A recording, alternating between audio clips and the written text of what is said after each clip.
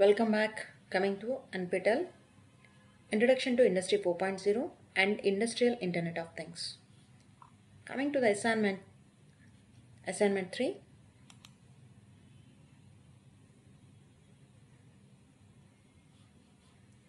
Week 3 assignment 3.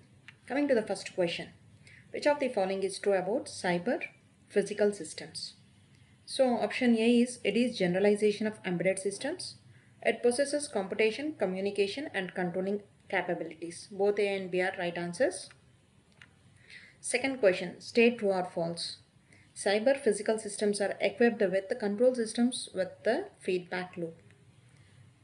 The answer is true.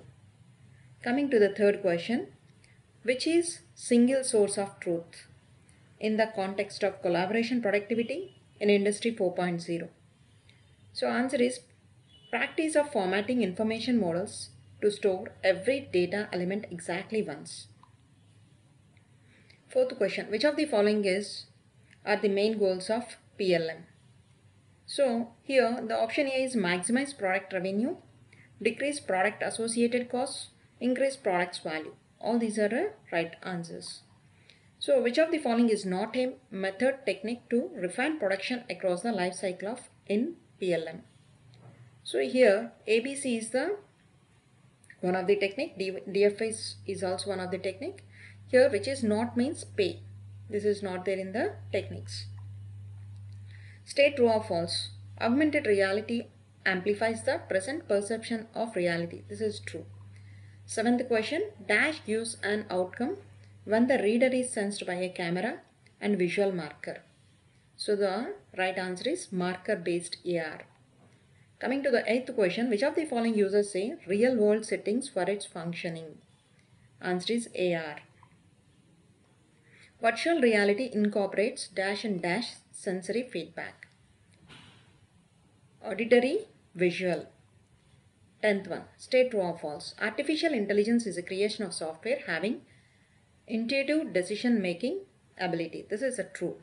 Coming to the 11th question, dash is a subset of machine learning that can learn automatically by finding the features of the object on its own. The right answer is deep learning. SQL stands for structured query language. Which of the following is not a characteristics of big data? Here velocity, veracity, value. These three are the characteristics and vitality is not the characteristic. HDFS is a file system derived from open source codes of GFS. That is Google File System. Which of the following features are essential for cloud-based analytics methods as per NIST? Here, this all these three wide network access, method grouping, fa fast flexibility. All the above are features of this cloud-based analytics. Now you can submit your answers. You can see the assessment is submitted. Thank you. And uh, if there are any changes in the assignment answers, I'll let you know in the comment box. So if anyone feel that uh, uh, any answer is wrong, you can comment in the comment box. Thank you.